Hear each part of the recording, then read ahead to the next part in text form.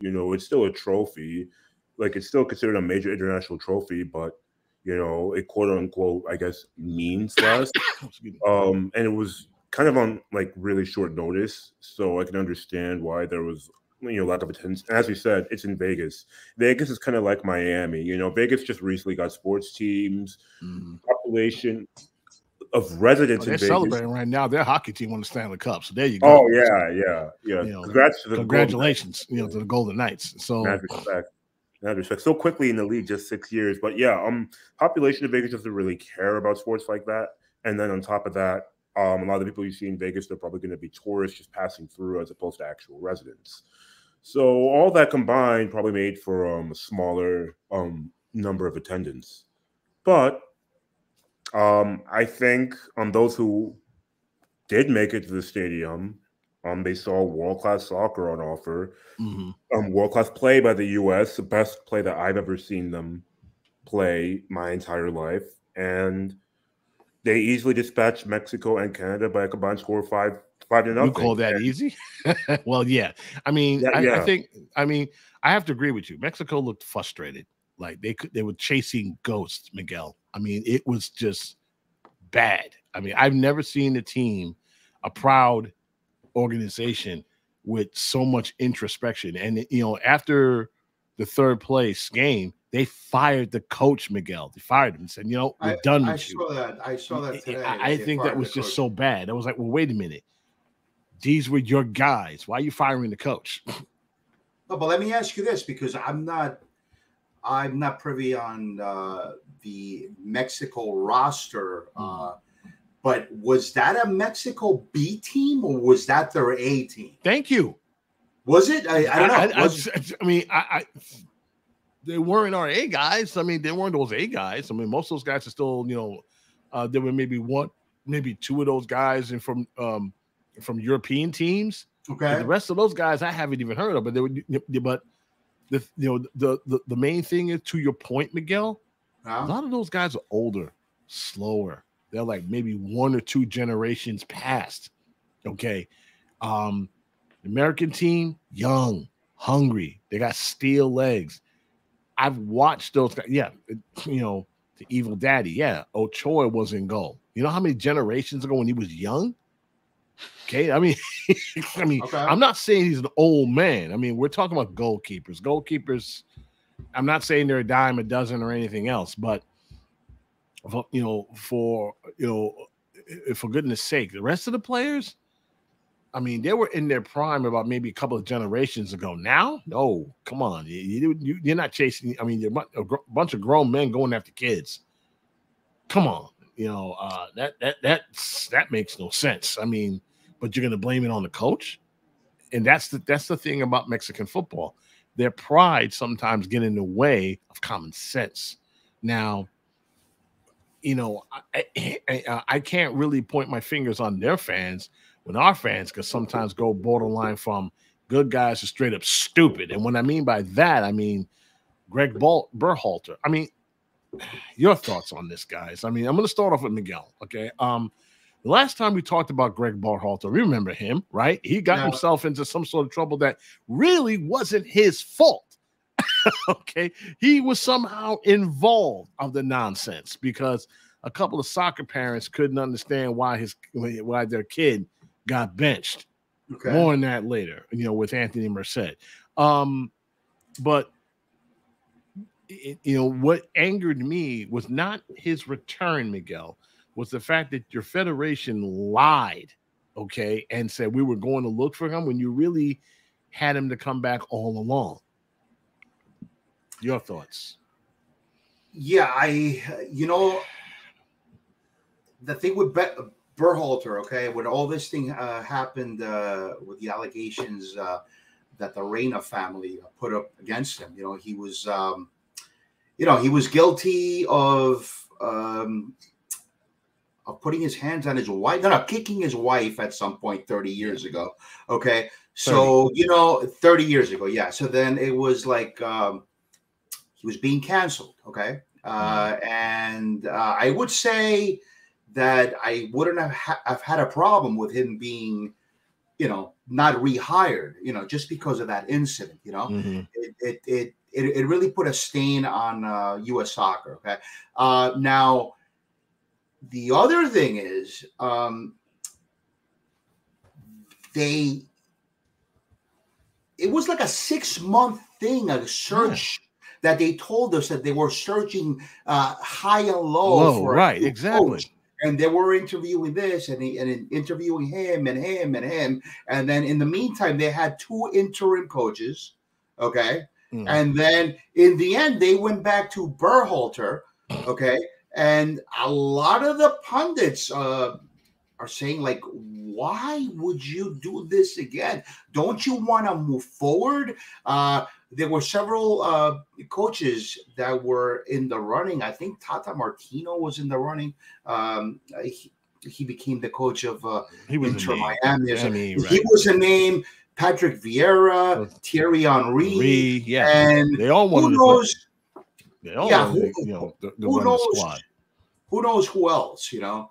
Um, but let me just throw this in. I read today that one of those journals uh, he tweeted that the reason that they didn't get a bigger name than mm-hmm. Berhalter was mm-hmm. because mm-hmm. they would have had to pay that that guy a lot of money, you know, mm-hmm. and they would have had to have paid the you the, the women's national team coach like an equal amount of money. Okay. I don't know. I don't know how true that is, but could that be the reason that he was rehired? I don't know. If it okay. is, it's if it, if it is, it's a lazy one. Lanray, I mean, you yeah. you went off. You, you just went off when you when you heard the news and you didn't waste any time saying, and I quote, "This was chicken bleep." Yep. Yeah. Very, very. You know, it, it, I mean, that was being uh, uh, based, okay. Based on your thoughts there, you thought that this was a legit recruitment, and then somehow yeah. U.S. Soccer said, "Never mind, we got our guy," and it turned out to be it was the only guy we had along. That's why journals are having a fit right now. To Miguel's point, they're like, "Wait, yeah. wait, hold it." Then why go? Why pull us through all that nonsense? For six months. For six months. Yeah, for we waited months. for this for six, six months. months to get the old guy back. Come on, he he he he he.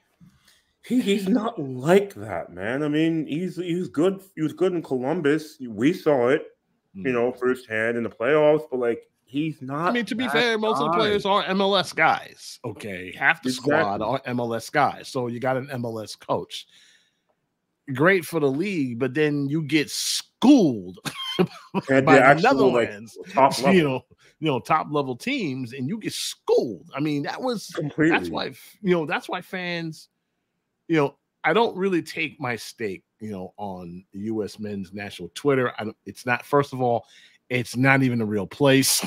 okay, the, the, the the folks over there are borderline psychos, and I'm gonna leave it at that. Okay, but. Hmm. You know, this is in some cases what they're talking about. They want to see the team, which is probably the best generation of talent they've had since the last generation of talent. And they want to take them, they want a guy that can take them next level. My personal thing, it ain't going to be Jesse Marsch. Take him next level. It ain't gonna happen. Okay. No. Um, Greg, I like him, but they're probably gonna wind up in the same level. And you know, you're not gonna bring them up. You want somebody with experience who who, who survived not just knife fights, but wars with bigger clubs, bigger teams, bigger nations, footballing nations. I mean, you're not going to do it with a guy that, you know, I mean, yeah, they had a they had a nice World Cup run. Well, yeah, you got out of the group but that's what you're supposed to do. You're supposed to get out of the group, right? So yeah, it's hardly, you know, it's hardly an accomplishment. And to do it in the way that you, you know, well, we're still undefeated against England. you know, of all, like so. I mean, it, we, where the rest of the world gave it a shrug, you're supposed to be giving fear, and you need somebody with that experience.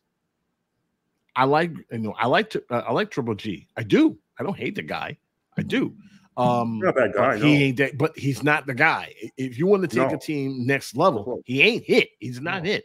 Neither is Marsch. I mean, Marsch was great guy, great coach for us, but he was a spectacular failure in Europe. Um, if we're gonna be honest, right? So you want to bring him in. Thierry Henry, last time I saw him, he was an assistant um with Belgium.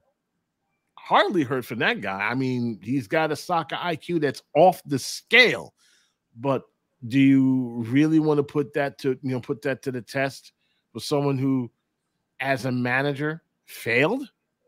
I mean, didn't do so hot, you know, with a Paris team, excuse me, Monaco. They basically chased him out of there.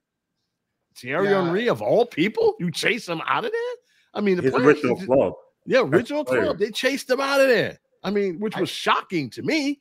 I mean, eh, you know, Montreal. Uh, eh, I mean, we're talking about Joey Saputo, Yeah. okay, the George Steinbrenner of MLS. Okay, so.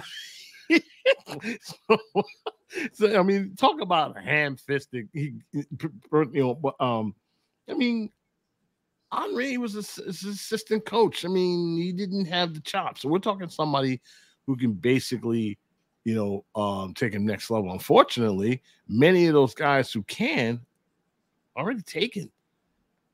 They are. They're already taken. I mean, some of the top international coaches. You're not gonna, you know, and some of them are right now in clubs locked up. Okay. Um, like Jose Mourinho. You're not getting you're not taking him from that Italian club. There'll be a shootout before that happens. Jose's not touching the U.S. job, man. You He know, Carlo- club for Carlo Ancelotti just got hired by Brazil. Okay, yeah. so he's He he's leaving snatched Real up Madrid. Brazil snatched, to coach him Brazil. up. Yeah, You know, but he's got experience both on the club championship, inter inter championship, uh, intercontinental championship level, yeah. and the international level. See, you would have showed him the dollars, he would have come here. I'm. Precisely. Okay. I mean, not everybody, you know, you know, I mean, eh, you know, I mean, and, and I'm gonna roll it back a little bit. You know, he wasn't, you know, in in the eyes in you know in the eyes of the public, you know, Marsch was a spectacular affair, but for me, you know, he he got them, he helped them survive the bounce, but only for so much.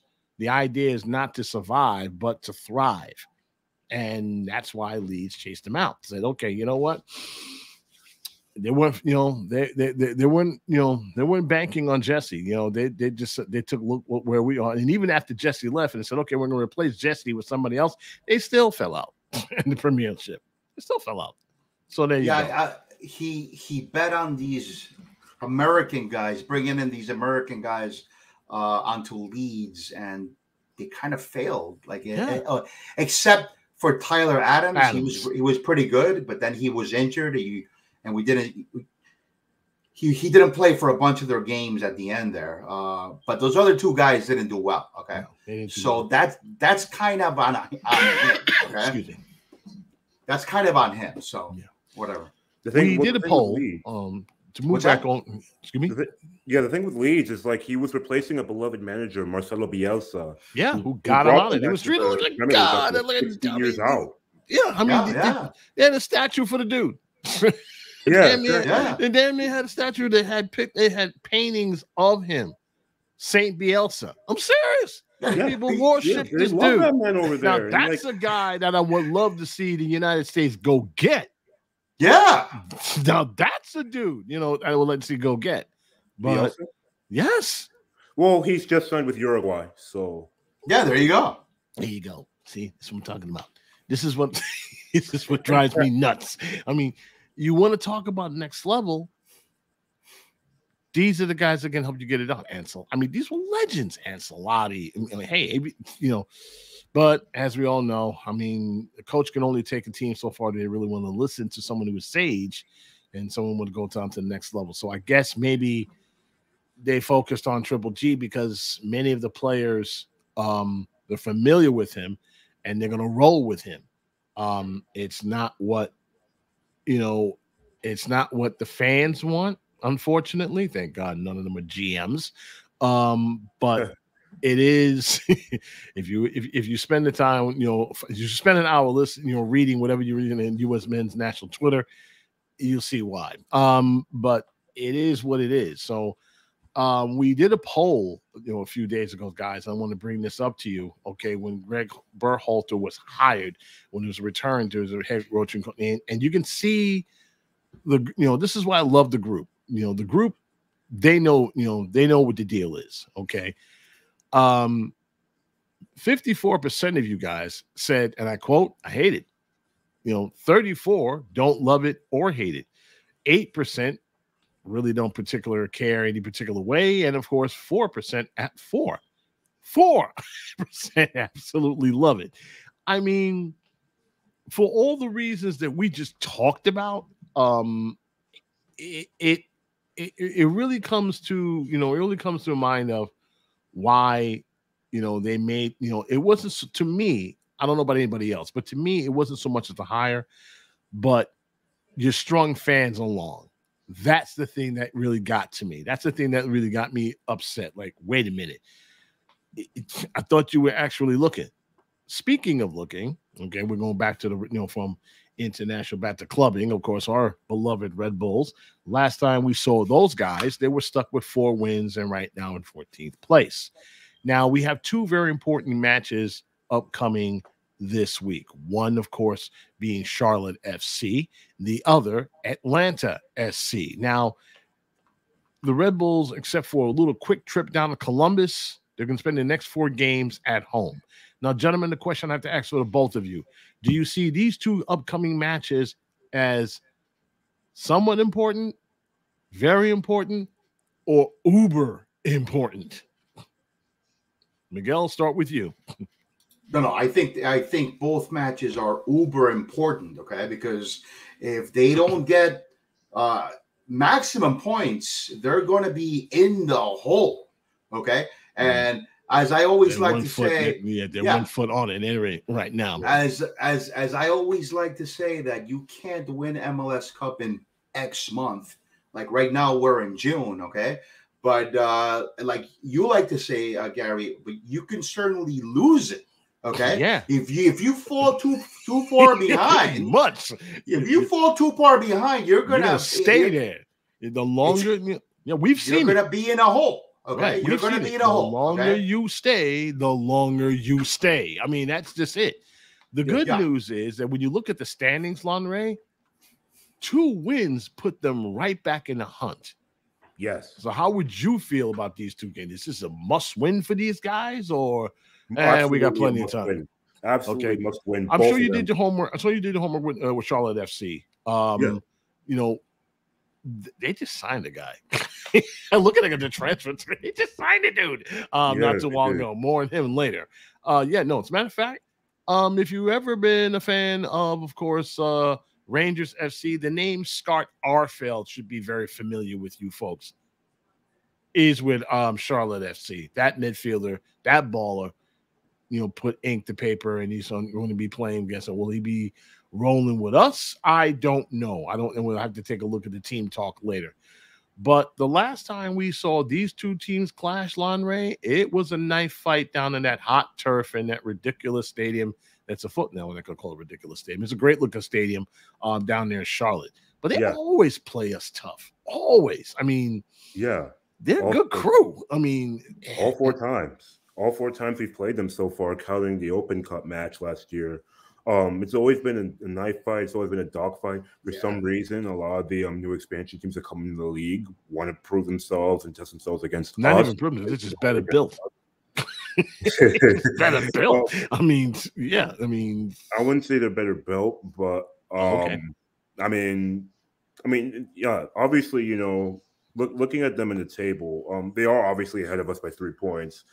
Um, so they're not obviously not too too bad. I mean, you know, one winner, like one draw for them, and they're right back in the in the thick of the playoff standings. But um, it, this is a team that always, you know, loves and hates playing against us. They always get up for it, but you know, we yeah, why is why is, problems. why is that love and hate? You know, flush that out a little bit. Why is that? Yeah, yeah, they love it because they love the challenge of playing against us. You know, we're mm-hmm. an original um, 10 MLS club. You know, obviously from '96, and you know, until up until like 2018, we were always like the benchmark for the the model of like all other MLS clubs to follow, especially in terms Once of regular season success. It's a long time ago now, man. It's 2018. That's a, that's when that's when things stopped at that point. But we can go back that again if we if this front office and sporting director, you know, need to have a nice little conversation with themselves. We we talked about that with Anthony Merced. Um, the last game was a one-one draw between the two teams. Um, this was back in March. Um, you know, Manoel scored so far his only goal of the season um, in the 43rd minute opening scoring, and then Andres Reyes had another unfortunate own goal um, with about 15 minutes left, and then the you know the score ended up one one. Manoel has only scored for us against Charlotte. Fun fact. That's Fun it. Fact. He scored. He scored a brace. Um, it's the post on everybody else, but he scores. but yeah, yeah, he hits the post or just misses against everybody else. I want that guy to cut. I'm going to be honest with the both of y'all. I want that guy to cut loose so bad. I mean, mm. he hustles. He ain't yeah. dogging it out there. He hustles. He gets into spots it's just his accuracy is just a little off. I don't get the somewhat hate from some of the guys in the group. I don't know why. okay. But we're talking about a player that wanted to be here. Okay. And he shows it. Okay. Van Gary, Gary, Gary, uh, go, Gary, go, ahead, go ahead, go ahead, Miguel. I, I, was waiting for this. Go ahead. hey, come on, listen, listen, listen. I was oh, waiting Lord. for this. You sign, you sign a guy to score goals Okay. Yeah, I was waiting and for this. he's not sticking them in. He's I'm not arguing with you. No, no, no, no. He's had a plethora of chances to stick it into the back of the net. Okay, but the who do you got? hasn't done it. And then okay? who do you, you got? But I'm going to tell got? you this. I'm going to tell you this, Gary. Hmm. Almost it doesn't count. Of course not. The poke, and the, the lower post, averages, no, it don't. The Post, I mean, it doesn't count. Okay. Okay. He's gonna start sticking them in, and then and uh, maybe then people won't be up his uh up his butt criticizing him. I mean, you know what? You the criti- I, I never said the criticizing the criticism uh, uh, the, you know the criticism wasn't valid. I just okay. don't get the hate. That's when I don't get. Okay, I'm like, what are you hating this guy? Okay, if you're mad because then he ain't putting them in the you know putting the onion you know the the uh the, you know, the bowl in the hole as they say, I get it. Yeah, I'm right there with you. I'm right there with you. You know, in this case, Miguel. But the hate. No, but what do you hate? mean by hate? Like, like how are people? I'm talking Alex Muyl hate. All right, this, uh, this is what I'm oh. talking about. I mean, uh, I wouldn't go that far. I'm, I'm, telling you, guys, back off. You know, just back up yeah, a bit. Yeah, okay, yeah, yeah, back up a bit, guys. I mean, I've actually went in one on one with somebody. And you, you need to explain to me why you need you need to get him off the roster. You're kidding me, right? No, but you know what? I mean, I understand. Muyl, Muyl was a frustrating player, Gary. Come on. I and mean, now he's doing well in Nashville. I guess you know I don't watch all of his games, bro. But he wasn't appreciated you know here, and he's doing well in Nashville. Just it's saying. Like, Just saying. Like, it's like you Just know, no, no, no. Listen, listen. Players here, they go elsewhere and they thrive. Take a look at Derek Etienne, for instance. Okay, a fact you know? that a fact that makes me just want to smoke somebody, just straight up, just beat up the guy that said, "Nah, leave him off." You know, another player that won, won the ball, another ball that wanted to be here. No, but you okay. know what? Sometimes it's a, it's all about maybe they're not good in the system. Here we go. Okay, because here you know it's I all about no running, run, run, run, run, run, run, run, run. I have it's no defense. I, you know me. I have no defense over that. None. Okay, I, I can't you know, you know, I can't defend the indefensible, but we're gonna talk about basically the first half. I mean, okay, yeah. Obviously, there's a lot of work to be done. Okay, okay, uh, both on the pitch and on the team, and I'm talking to everybody also in the you know um in the live audience. It could have been worse. That's how I looked at it. That's how I look at it. Okay, it could be worse. Um, you had a coach that was held against his will, and you eventually had to fire. Okay, the the team has not played like a team since I don't know training camp. They look like a bunch of individuals, which is great. Which was reason why we see flashes of brilliance, but not much else. Okay. We had to water through a ridiculous incident that um, involved a racial epithet perceived to be uttered by someone that you paid five million for, and where it alienated nearly half the fan base, and they were really going at it. I mean, the fan base was yelling at the supporters, the supporters were yelling at the fan base. It was ridiculous. Okay. And yet we're three points out from last playoff spot. That's why I say this this could have been worse. Um, Long from start to finish up until now. Of course, this is going to be a part B when Anthony Merced comes in in about five minutes from now. How did you see the see? You know, we we talked about this right yeah. in our first show. They said yeah. there was a lot of promise. Has that changed your mind since? Yeah, it has. Okay, here it comes. I'm not entirely confident we're getting to the playoffs, man. I think our playoff streak ends this year for what I've seen so far. There's been good thing or bad thing. Good thing or bad thing? Um, honestly, kind of a good thing because then this club could actually hit the reset button and look itself in the mirror and actually start giving a damn. Red Bull Global can hopefully can hopefully actually start giving a damn about this club, the so-called ugly redheaded stepchild that we are compared to Leipzig and Salzburg, and actually, you know, help help us out and open the checkbook and okay. help us spend on quality footballers, man. Because well, I'm with you on that, but the the the the, the, the that narrative, I mean, it, has been. I don't think they're gonna do that. Okay, go ahead, Miguel. Go I don't. Ahead. I don't. I don't think they care. Like, if, even even if the, we don't make the playoffs. If they miss the playoffs, I don't think it's anything to them. That's that's what you know. That's what I have in my mind, and a lot of people have that in their mind. You know, okay? They're all about the the rebel, Daddy rebels oh right here. they're all about the advertising, and really, they couldn't care less. Okay, so that's just my two cents. Go ahead. Okay, I mean, you know, based on what you said, you know, we talked about high expectations. We talked about you know the word that we don't dare utter, which is optimism. Oh, um, you know that that's a very da- dangerous word around here, of course, on the discussion group. But since then, Miguel, um, what's your good, your bad, your ugly? Uh, you know what? I gotta be honest. I don't think there's been much of good. Okay. No. Uh, for the you know the first half of the season. I, w- I will say that the bright spots have been the play of John Tolkin and Daniel Edelman. You know, and if you go by uh, um, reports, uh, Tolkin might be on his way to Europe this summer. Who knows? Okay, but certainly I don't. Daniel's being looked at. Yeah, and but certainly I don't. Yeah, I don't think he's uh, he'll be with us next season, most definitely. Okay. Uh, now that's still good. Okay. Now, as far as the bad, we can go with the uh the Vanzeir fiasco. Okay. What a uh, fiasco. Uh, I mean, come on. What a fiasco. Oh, boy. Lu- Lewis what a Morgan. disaster. Yeah, d- disaster. I mean, yes. Disaster. Lewis Morgan being hurt, he he came back and he got hurt again. You know, that's that's no fault of, of his, but he's like he was our best player, man, like last year. And then, you know, um, I, I don't think Luquinhas has hit, has hit the heights that we saw when he first got here, like the first half of that season. Mm-hmm. Okay, uh, and the other sort of like fiasco is has been our our forwards. Okay, I thought we were definitely going to get. Let's not goals. forget about one thing that's you know that's okay. very important, and, and, and this yeah. is a major qualifier, gentlemen. The team has had to deal with injuries. Okay. Yeah, most definitely. But injuries. you know what?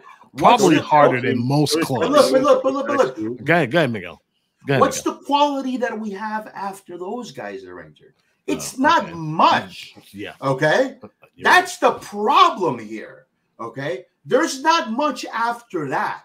We would have had to have like a starting 11, all our guys healthy and firing on all cylinders. Okay. Most of our guys are not firing on all cylinders, and several. Hence, what I said about playing like a team.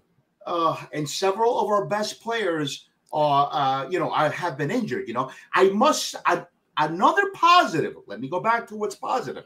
Okay. I think it's like the uh, the firing of the coach. Okay, um, Gerhard Struber, which if you re- read between the lines after he he was sacked, uh, a lot of guys like I don't think they liked him a lot. Okay, I mean, or he was held a, against. I, I looked at a, it as he was held against his will. He wanted to go back home, and it and it and it showed. Yeah. in, in his coaching performance, it was like you know what, you can't fire me. I quit, but I quit. but the thing camp. is, but the thing is, and I posted this on the Facebook group, bro. You could have Pep Guardiola here. Yeah, you okay? said this. Yeah. What is he going to do with the players that we have? Okay. I, I don't know. I, okay, go ahead. Please. That's the question that I have for you guys. My the answer to that is it's a thin bench.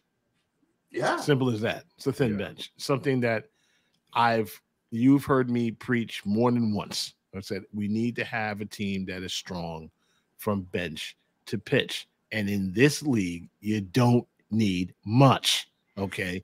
Just have basically what you have is two quality starting lineups. You have a group A and a group 1A. And if you don't have that, you can forget any thought of MLS Cup or anything else for that matter. Okay. Um, a lot of these players were hung around from last season. They really didn't add any pieces outside Vanzeir. Um, and you know, joking talked about, you know, like you know, John Amaral said, he talked, okay, about getting an attacking midfielder and you know, a center back, which we don't, you know, an additional center back from last, and, you know, and thank goodness for uh, Hassan was... Ndam, who's been stepping up brilliantly um, in some cases here and there. But we've always known about Hassan during the Red Bull two, you know, two days. He was the anchor of that defense during, you know, during the time. So I was very happy to see that. However, injuries, okay. Um, a lot of guys in the midfield was gone. I mean, uh, you know, it, it, it, it you know, it really set things back. We missed a lot of players, you know, because of that. Um, Luquinhas, you know, he was the man to serve the drink, but unfortunately, after he got trucked by defender after defender and center back after center back with absolutely no cover, okay, he wound up, in, you know, in in the injury, you know, uh, list. You you talked, um, you know, you, you it's this is the type of thing that we have when you have a crew for this, you know, for, for this season. If we can get everybody healthy, we stand a chance. But right now, Ngoma, not around. Okay. Um, Lewis Morgan, there's no, you know, there's no word yet if he's going to be back this year or even you know, or, you know, back this year for, for intents and purposes. He Ngoma opted for, striker. you know, excuse me. Ngoma might be our best striker, but he's hurt you know, he had a setback. Again, you know, yeah, I know. Again, really he had a setback. You know, so injuries are a big part of that. Uh, um, keep forgetting the kid we got we grabbed from Cincinnati. Um, um, you know, he's hurt still. Okay, we needed him. He was playing well up until he got hurt. You know, in you know, so I like to, you know, the one person I like to, you know, have a nice little, talk to is our strength and conditioning coach. I'm like, okay, I know you're not a miracle worker. I'm like, can you make these guys a little more durable? Um, but that's you know, that's a, that is a byproduct, of course, of this league. This league is physical, which of course will lead into our next segment after the break. We got Messi, and I'm wondering how long is he's going to ha- hold up because he's used to being around not all star players, but world players, okay, that can give touches to each other on the dime. And how are you going to deal with the rough and tumble atmosphere that is Major League Soccer? Of course, our friend Anthony Merced will have all those answers and a heck of a lot more if you keep it where it is. We'll be back in 30 seconds.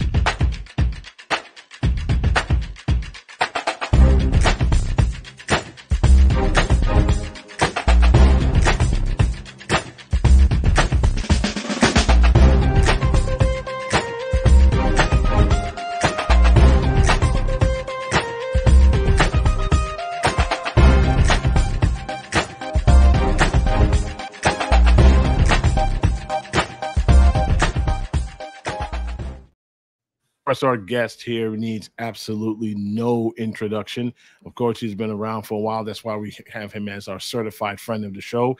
He is Anthony Merced of the Red Bull News Network. And it looks like the news network, Anthony, is going to be busy this, this, you know, this down the stretch. Of course, you being my, you know, my editor, and of course my, my boss and all.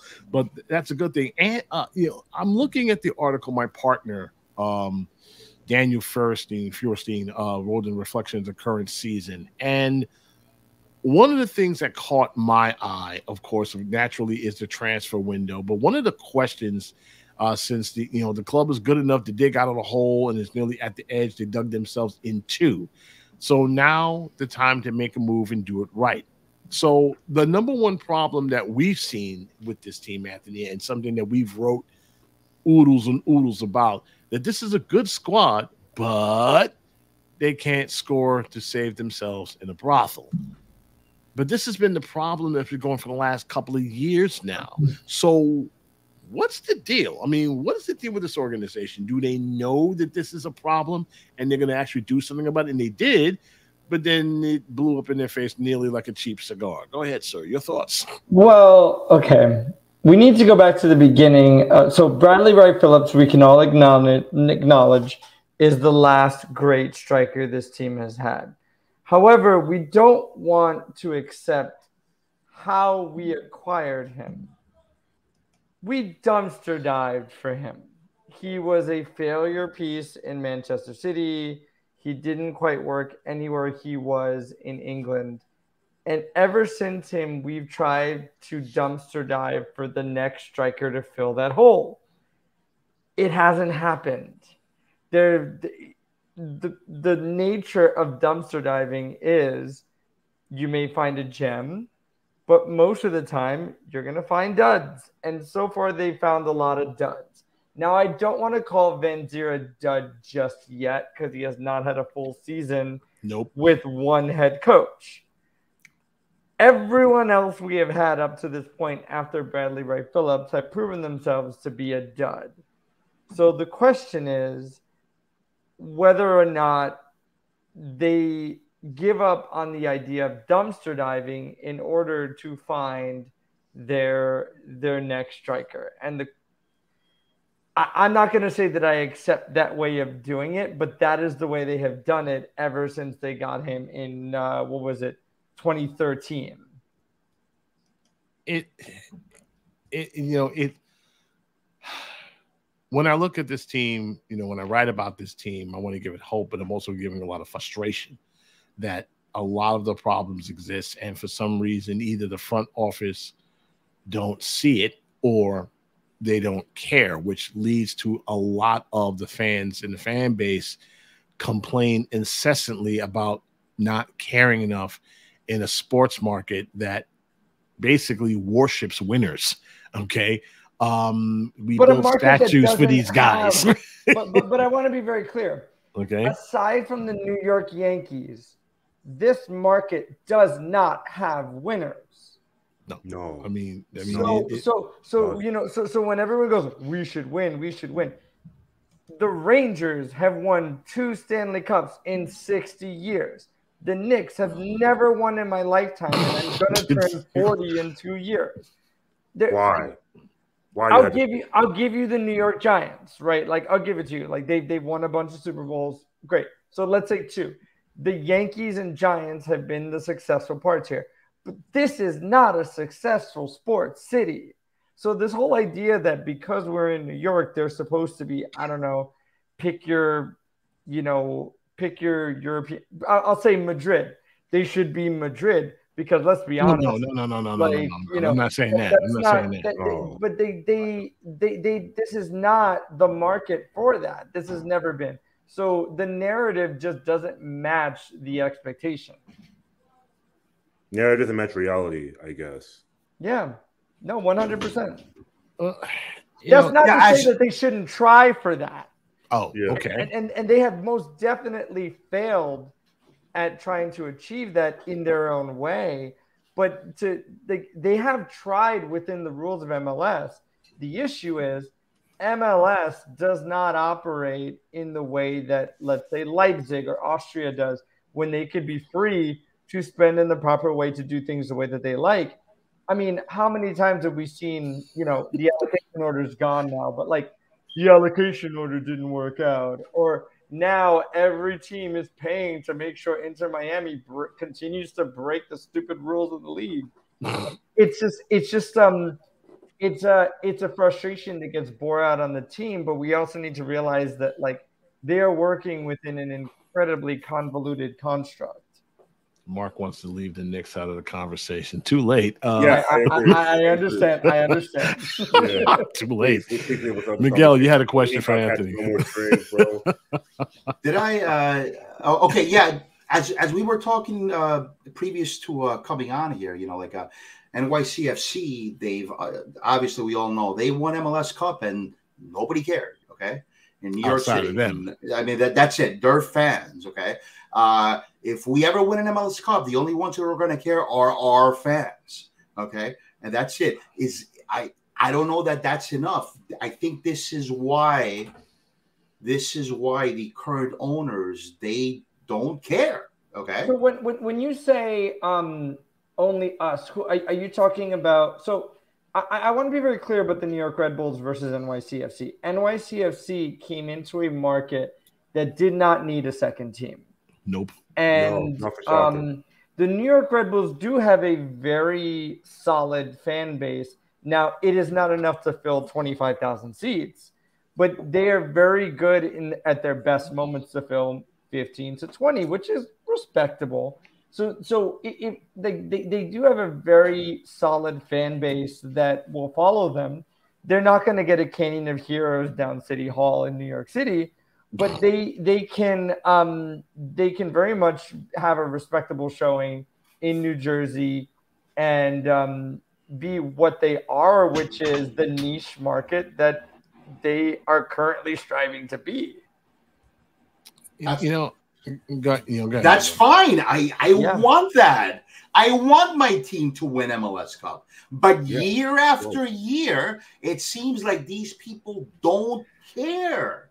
Okay, we see Miami signing Messi. Who, who are they going to sign? They're going to sign three Di Maria. They're going to sign and Jordi Alba. They're going to sign. Yeah, but they got to give I, up some. They got to give up some of those guys. that that's not going to work. Look, look. Right. Let, us be. Let's okay. I, I don't want to what I, I don't want to get too much into the Messi conversation until Gary wants me to. But but let's be real here, right? Like Busquets, Di Maria, Jordi Alba in MLS. I mean, what happens when a kid puts a knee in their thigh? Like what, what like what happens when they have to run on Atlanta's turf? I mean, I you know what, I'll just say it. Messi standing on a field in Atlanta might as well be Andrea Pirlo. Like he's not going to be what you think he's going to be in a team that isn't built around him because it does not have an ability to do that within MLS. Like he's not he's going to stand in the middle of a field with guys that are athletic but aren't going to put the ball at his feet. So what you're going to be stuck with, you're not going to be stuck with Zlatan who is the um the the benchmark of what we all wish those DPs were, right? An athletic guy who comes to MLS in his late 30s who's going to be able to run, do splits to make goals happen. Messi has never been that in, in his entire career. No. And now that he's in his mid 30s, he needs someone to give him a ball, and then he needs someone to make a run for him to pass to. That's not gonna happen in Inter Miami. More importantly, I mean, yeah. you you guys have seen many, him him play not only in Barcelona but also with uh, Paris Saint Germain. Um, defenders they don't crowd this guy. I mean, by the time he gets the ball, he's ghost um, past these guys. But our if I said this once, I said this a thousand times about our defenders in the league. They're like linebackers, okay? these dudes wanted why do you think I complain the reason you know um Luquinhas, you know, he needs clearance because those guys truck him. Okay. Once he gets the ball, you got some center back going, excuse me. Next thing you know, he's picking himself off the turf, off the turf with you know dirt out of his teeth. A lot of these dudes don't care, okay, and they know how to handle creative types like Messi.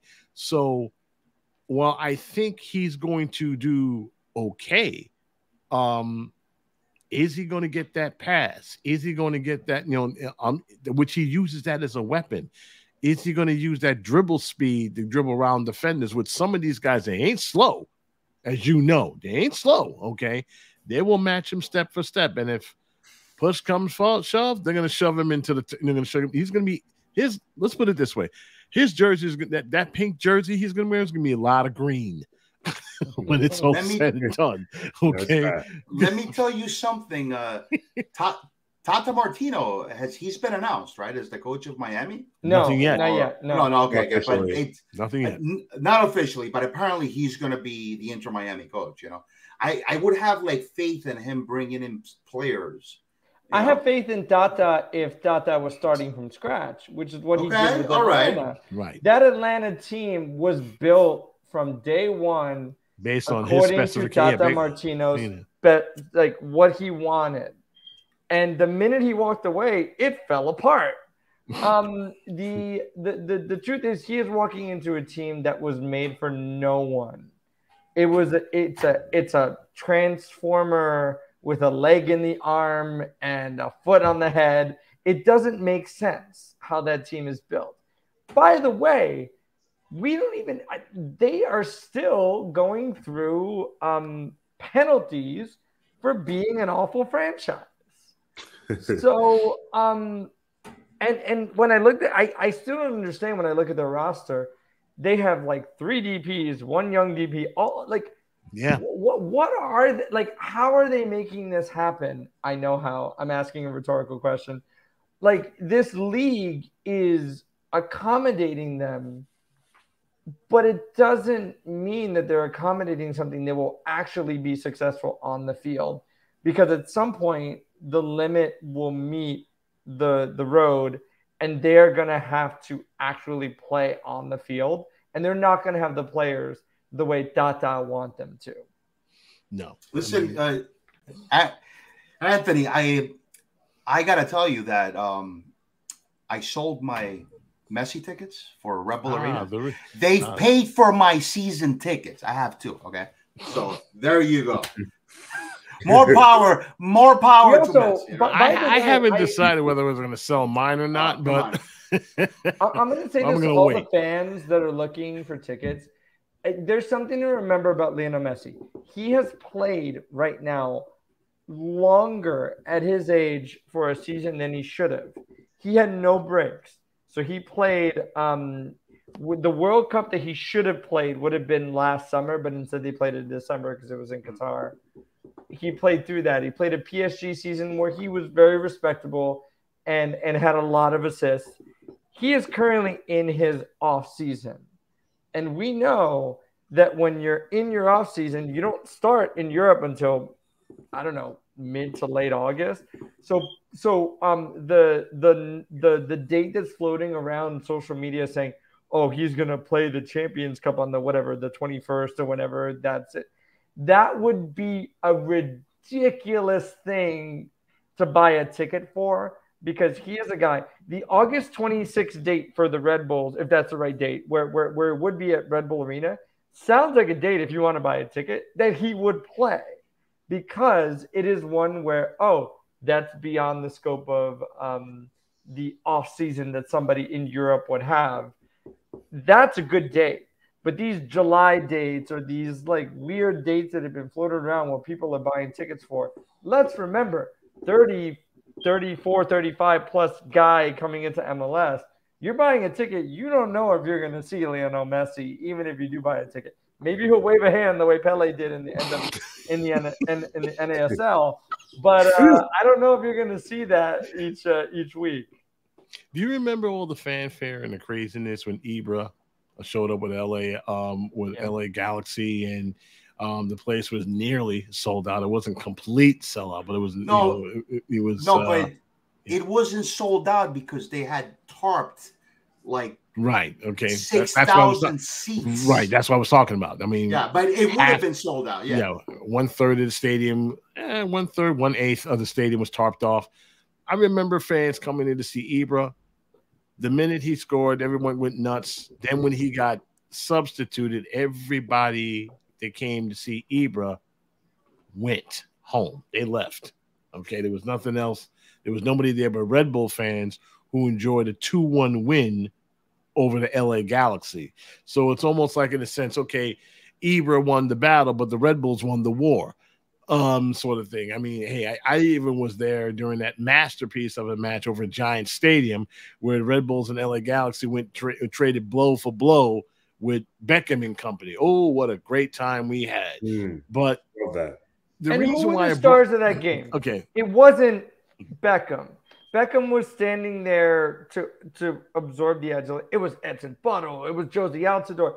It was yeah. all these guys. And, and, and I think Juan Pablo Angel. Juan Pablo Angel. Juan Pablo Angel.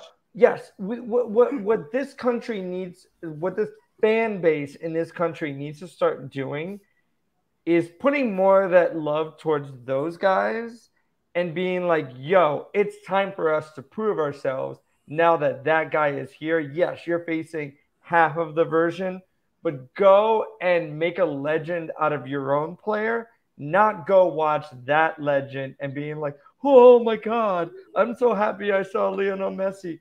Right. He already has his accolades. Go make your own. Go root for your guys to make their name against that guy. I mean, that's mm. that's what I, I look for sometimes. I, I, mean, and to your credit and to your point, um, Anthony, some of the Red Bull fans they do that. I mean, the fans that were left were Red Bull fans, and they were cheering like mad. They said, "Okay, it was one-one at the time. I've never seen the fans go nuts after the second goal because it was like, yeah, we beat that guy, you know, on your squad full of all those stars." and you couldn't beat us with our kids. it was it was a, you know at that time it was you know no one talked about how the team didn't care at that time because it was the future But what I have always said, what Lanre has always said, what the yeah. fan base has always said, and of course Miguel, he has never stopped saying, is that we have to build on that, mm-hmm. and that's where you know we're going to talk about next. But where does the Red Bulls go from here? We talked about how 2023 season was. Um, I kind of labeled it as this could have been worse. well, hmm. it's purpose. This could have been worse. But you look at the team and you look at the standings and you go, wait a minute. You know, this team is in the last place. Well, they were. They climbed out of it, of course, but they're within a sneeze of making, you know, a sneeze, you know, winding up in the playoffs. Remember, nine teams get in this year. So, while this is why I said that making the playoffs for any coach running this squad, making the playoffs is a requirement because the relative ease, you know, to make the playoffs. From there, eh, you got to win a champ. You know, I mean, you know, you, but you got to be in it to win it. Somehow, I don't see this total doom and gloom, you know, among some people in the fan base because I think this squad has a chance. But the key point here is, Anthony, I'm sure you may would agree with me, is that they got to put it together and they have to put it together fast. Okay, starting with this homestand. These two matches coming up, I have to ask. I asked two of my gentlemen here. Um, do you see this as the most important, you know, home stretch for the team this season? Would, do you see that this is make or break? So, um, it is break in the sense that they should not lose both of these games. I, I, I do want to say that if they win one and draw one, they're in very good shape. Um, it, they, they need to walk away with bare minimum four points from this. Um, if, if, if, if, they do that, they're in very good shape to make the playoffs. But I also want to stress um, two things about this team this year. One is um, there are players on this team I'm not even talking about the DPs, but players that made this team so dynamic last season that have not had an impact this year. One has been Lewis Morgan, who has been terribly who's hit the injury bug that last year was like an Iron Man, and the other one was Luquinhas, who last year uh, was, I mean, inconsistent is probably the best word. And at moments, and has continued that inconsistency this year, moments being amazing and other moments being just a, a, a ghost.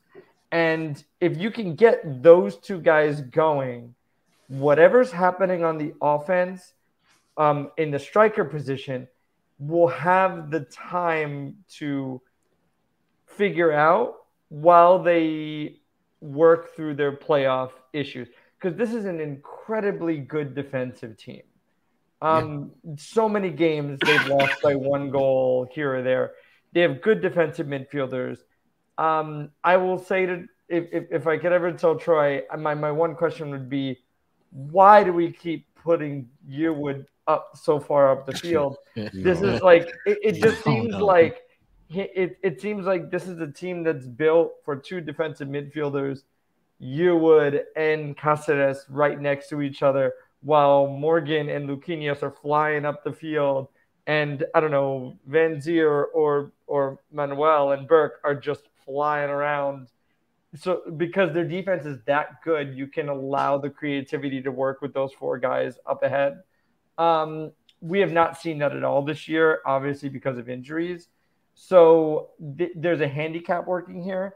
The, the pieces are there if they can stay healthy. I think that this team is not just a playoff team, but can hopefully live up to the expectation of a, an impressive run. I don't want to say a cup run because no. it's the New York Red Bulls, but um, um, you know, just an impressive run where at the end of the season the fans won't be incredibly disappointed. Laura, you got a question for Anthony? Go ahead. Yeah, Anthony. Um, you know, um, we did mention obviously BWP, the great BWP being the last great or even really above average striker this club has had. Um, you know, um, despite the fact that Dante has been a disaster signing for the club so far, to put it lightly, um, I do think that maybe he can come good. I think what personally what's more important is an actual number 10 because you have Luquinhas and Morgan, you know, they're they're more like dribblers or scorers. Um, I think we need like a true like creative playmaking number 10 to pull the strings and you know supply a passes that you know people like Burke or Manoel or Vanzeir can get on the end of, and you know hopefully put some nice finishes in the back of the net. Who do you think would fit the bill? On the team currently, I don't think that exists. Um, no, not on this team. There's no one on this team. Yeah, yeah. So, so you, you're absolutely right about that because when um when when BWP first came into the team, essentially Thierry Henry dropped into that number ten role. Yes. And yeah. he became a distributor, and he would yeah. go, and it was fantastic. When he left, it was Sacha Kljestan, who you want to talk about an immobile person. Yeah like love Sacha Kljestan to death, but well, Sacha Kljestan was tremendous with distributing the ball while like running as many times as I go to the bathroom when I'm uh when I when I'm uh, working in my office. Like yeah. it's um yeah. he, he had a tremendous ability to not move around the field but still get the ball where it needed to. I think the thought Kaku would be that and be a long-term answer. Obviously he wasn't. And ever mm-hmm. since him, um there's been uh, a search for that number 10, but you're absolutely right. I don't think it exists on this team at the moment. And I think they need to look. Uh, I'm going to say outside the league because interleague trades are so ridiculously dumb and, and so hard to make happen. Um, they need to look for a distributor outside so that someone like Vanzeir or Burke or whoever they decide is going to be that number nine doesn't need to fall into the midfield looking for the ball. Um, he could be forward and trust that at some point the ball is going to get there for him. Exactly. Yeah. All right. Of course, Daniel Edelman is still out from towards international duty. He may return. Steven Sserwadda is still out with a knee injury. Omir Fernandez, we haven't seen him in a while. Of course, with a hamstring. Serge Ngoma still has that hamstring injury. Um, he had a setback for that. Um, the one name that uh, that has taken off that list, thankfully, uh, that could be. Um, let me just get hold on for one second. My roster somehow just disappeared for just one quick second. Um, you know the the the the you know maybe return of well, one guy that's like coming you know here back and you know back on the you know back on the list again. Um, of course, the kid we grabbed it from Cincinnati. I mean, the Amaya, Frankie Amaya, he's you know he's off the list, thankfully. I mean, um, yeah. but he was playing well before he got hurt. Here's hoping that he can able to you know stay stay healthy. So no Tolkin for the if, in case you're wondering who we got left. No Tolkin, no Cristian Cásseres, no Cory Burke. They're off for international duty. Daniel Edelman um, may or may not be back. He looks like he's returned, but we'll see. We'll ask him. We'll ask Coach Troy. Um, you know, we'll ask Troy tomorrow whether he's going to be available selection or not. Um, and if that's the case, that will go um, well as far as shoring up the defense in that area. My only concern is there's no Tolkin, of course, on the left side, and Cristian Cásseres, who was playing marginally well in the middle. Um, someone's going to have to come up, you know, step up and take, you know, take his place and see where we go from there. And then, you know, the defense is fine up front. That's always an issue. It depends on who's going to be able to give the ball, and that is the constant, you know, angst. Okay, to many of the fans. Um, you know, it's a, you know it, it, it's a, a, dicey thing you know anthony we talked about where the red bulls will go from here um you see this as you know it's more than just a playoff team if they get healthy and if they get their act together. Um with less than 17 games go, left to go in the season um time is running out. However they're they got a shot. I mean if they're able to put you know if they put things you know put it together. Um and that's the one thing you know that um that's the one thing that I you know want to cling a little bit some hope on, you know, for the fans. But hope is a dangerous thing to, these, yeah, but look at, look, look at the teams in front of them. You're you're looking at um an NYCFC team that no one is talking about. Well, I shouldn't say no one. Um, holla my guys at Blue City Radio who acknowledge that their team is a mess. Um, Hmm. Charlotte, who is could not be more up and down than any team I've seen. Yeah. Montreal, DC, and Orlando. All the teams ahead of them right now, even I mean, I think Atlanta's a little more consistent. All of the teams above them are and are a chaotic mess. And we know that the Red Bulls have one thing good that defense if you can just knock in more than one goal, just just just get it get it in, and you know that this team could really make us all Look, the, the the reason why I'm so positive about this team when I think about playoffs is playoffs are defined by teams that can park the bus. This team has an ability, they don't do it all the time, based on their defensive players to park the bus and get a result if they can just nick that goal. It's and the that's MLS the version of they need to figure out. It's the MLS version of Chelsea FC. Okay. Yeah, the Mourinho. Shout out to yes. yes. Shout out to what? A who? I'm sorry. I'm sorry, Alon Ray. I'm sorry. I, just, I was just saying we're the MLS version of Spurs. We have all this promise. At least we used to have all this promise. All these great teams that don't win nothing. Uh, Okay. I mean, well, oh, yeah, but we ain't got say. the multi-million dollar talent like Spurs got. Exactly. All right. So there you go. You know, I'd like to have Harry Kane right now. Yeah. But I kill for Harry Kane. yeah, I mean, I'm serious. I kill for Harry Kane. Um, Joao Felix. So like, okay. Pierre Emerick Aubameyang. We don't have those. Let's guys. talk about uh, Gotham FC. Gotham FC. Uh, well, they they, they lost. lost. Two, I mean, 2 nil. Yeah. Re- remember when these girls, we were celebrating when these girls were in first place? Oh yeah. boy, I, am I'm, I'm not understanding what in the world uh, you know happened, but since then it, it they fell out. I mean, they've lost. Looking at some of the uh yeah four out of five games. Ouch. I mean, it, you know we we we understand that you know they're still within playoff range. They're not dead out of the water yet. That's a good you know that's a good thing. But um, you know we were singing their praises and everything else, and then what, what you know once you know and Luke was the one that basically started the whole mess. Of course, it actually added to it.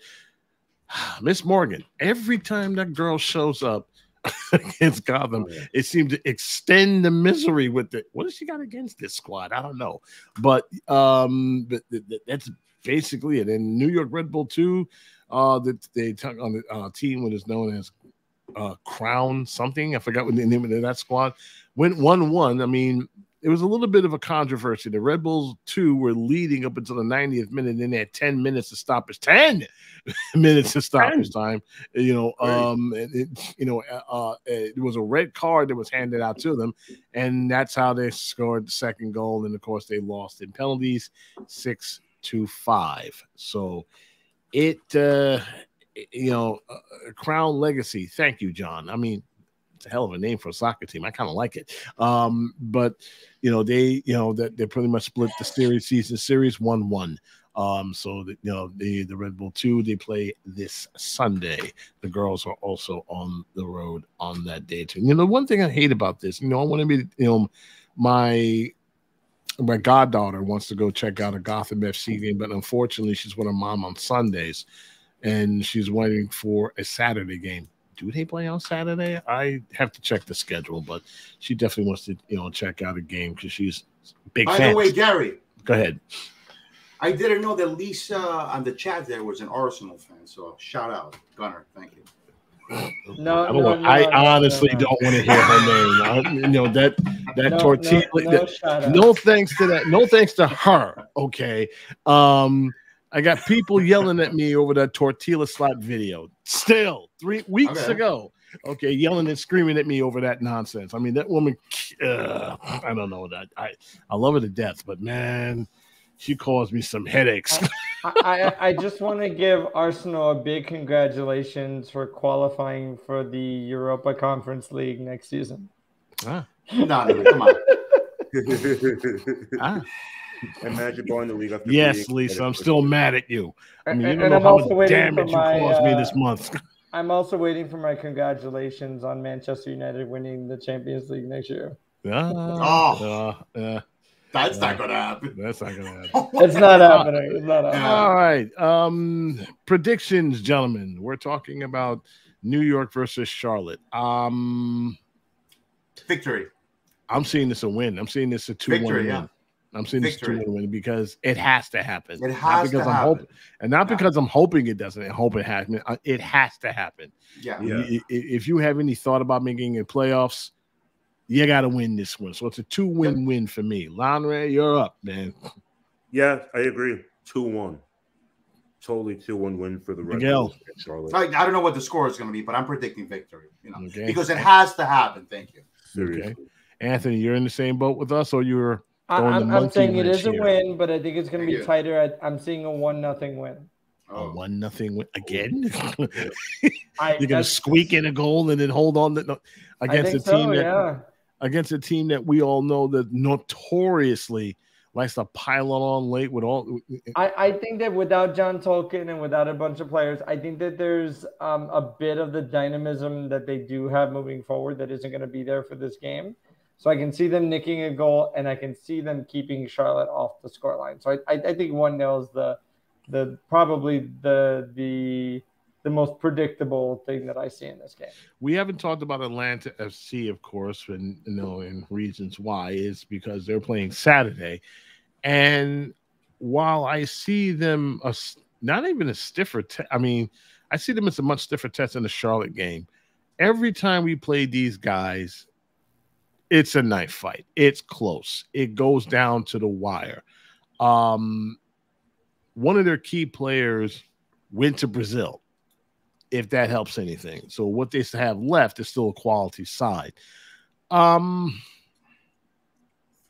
I'm calling this a draw. I don't know why, because it's it's more of a predictable result. Both teams have quality. Even one that's more diminished than the other. We're talking about New York versus Atlanta.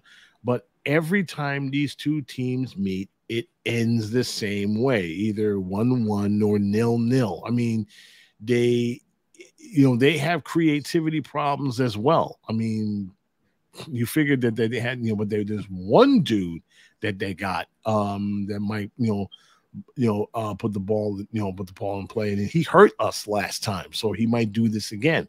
But we'll see. Um, he, you know, they, they beat us 2 0, I believe. And, and I'm looking at the, the uh, moving, you know, nope, one nothing. As a matter of fact, back in April 1st. Um, and uh, it was yeah, a, I was there. I was there. were there where you your poor self, you know, just lost your mind. lost your mind. It was a cheap goal too. So that's why I'm hoping that games like this, they look at the tape and go, okay, see what happened back in April 1st. Let's not make sure we do that again. It was a Yeah. goal that scored in the fifth minute, and then they held on for dear life, you know, a, you know, after that. So I'm seeing this as a nil-nil draw. Now I'm hoping I'm wrong, okay, because I'm seeing it as both games these two teams must have, okay, in order to solidify their chances. And if they want to botch it against uh, Columbus after that, go right ahead because Columbus is like Yeah. they're on fire. Um, but one thing about these breaks, they tend to be equalizers. They teams that come in hot, you know, and then they don't play for a while, and then they stumble against teams that they shouldn't. And then you have teams that have been stumbling along to get a second life. I'm hoping that team, I'm hoping the Red Bulls become the latter. Your thought about that Atlanta game, Lon Ray? Uh, yeah, um, I'm seeing a one-one draw. Um, Atlanta of all the teams that are ahead of us, um, that are within like nine or ten points of us, Atlanta are the most consistent and they are the farthest away. They are the hardest to catch. Um, saying that, I do think we have the personnel to score against them. You know, we'll be at home this time as opposed to being away down south in the you know in Mercedes-Benz Stadium. Mm. Um, I, I don't see us beating them, but I also I'm also not sure I see us losing to them. We've never lost to them at home in any competition in Red Bull Arena, so I'm hoping that That That- continues, you know, right? continues. Miguel, your thought about Atlanta? Yeah, I'm going to be positive. I, I think that if we can get a draw, and I'm going to predict a draw, um, as Anthony said, four points out of six would be a good get in these next two games. And, uh, you know, we wouldn't completely be out of it. The disaster would be if we lose two games, then we'll be deep in the hole. But Mhm. I'm uh, I'm confident that we can get at least four points in the next two games. I'm predicting a draw against Atlanta. Hey, good night, Mark. Thanks for, for your help. Anthony, you have the last word. Yeah, I'm gonna agree. I, I think this is a draw. Um, I think it's a one-one. I, I think they can they can get a goal. This Atlanta team is very good moving forward, not good defensively, especially given a lot of their guys coming back from uh, from whatever international duty they, they were assigned to. So I, I, I can see this being a one-one draw at Red Bull Arena. But again, yeah, they're not gonna win at at, at RBA. All right, and we'll leave it that there. Anthony, as always, please don't be a stranger. You're always welcome to join in and drop some knowledge. Lon Ray, you had a fun fact before we get going in. Please do so because we only got a few seconds left running on the show. Uh, yeah, Yeah. stuff like that. Um, uh, you want to share that, or you want to wait until after we sign off? No, yeah, I'll just I'll just share it now. Um, so on my recent trip to LA, um, I was watching the Champions League at this bar in Culver City, Hmm. on the sports bar. It's called Rock, Rocco's Tavern. Um, I actually met um a gentleman who is from New York and is a Red Bulls fan and was wearing an old school Red Bulls jersey. Dang, I've, I've already forgotten who, who was on the back, but it was like it was a black jersey, which is really, really, really dope. Dwayne De Rosario. dogs uh, wearing the piss colored kit. I'm like, really? Of all places in LA, got Red Bulls fans here? That's wild. I mean, we we have fans everywhere. I mean, they, Yeah. Of course, they some of them are in hiding. Most of them, of course, in the witness protection program, but they're but they're definitely out there. Um, Yeah. uh, they're definitely out there. I mean, it, you know, it, it. We do have a very good fan base. Let, us put it that way. Yeah. Um, but, Loyal. you know, they're very loyal. Um, we're we're basically masochists, of course. We you know when it comes to this team and whatnot. Eh, but it really is on the the front office and of course naturally the sporting side to get it together. Um, because if there's one group of fans that really deserve um, their moment in the sun is this one. Yes. um, they've been you know it, it's i've been with these folks for on 27 years. I'm probably hopefully strong enough to see them 27 year, more. I hope during those times during during that 27 years the streak ends um, that we can able to able to see them lift the cup. I would love to see a happy recap and talk about that. So I'll take it, Gary. I take a U.S. Open Cup. I mean, any cup. Well, your tagline says the best: Open MLS Cup or bust. Uh, bust oh, folks, that is the end of our show. And as always, we can't thank you guys enough, all, all of you folks in, in the live audience. Once again, if you missed the live show, well, too bad. No, I'm kidding. Of course, don't worry. The recording will be available on YouTube channel and, of course, Spotify.com the very next day. Okay, you can also check our previous episodes there as well. And as always, if you have any questions, comments, hot takes, suggestions, do send them our way at our email address at rbdg at the podcast.com. That's RBDG, the podcast at gmail.com. We thank you very much for Lon Ray Badmus, Miguel Nunez, and of course, our special guest, Anthony Merced. Thank you all for coming, uh, stepping by tonight. We will see you next week where Carlos Cano and Mark Coates will be headlining the show. And of course, we'll talk about the the games that take place on Wednesday versus Charlotte. That game was at 7:30, and of course Atlanta Saturday night, also at 7:30. Go to the games, enjoy yourselves. We will see you all next week. Until then, Thanks for joining us. We will see you then. Good night. Goodbye for now.